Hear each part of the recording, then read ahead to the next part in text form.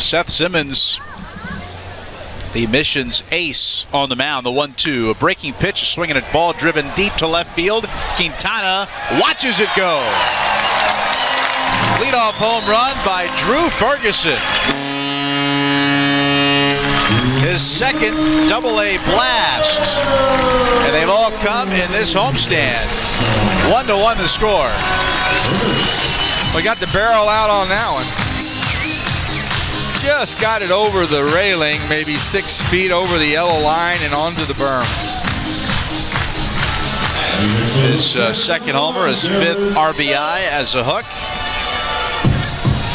Hooks waste little time to answer back.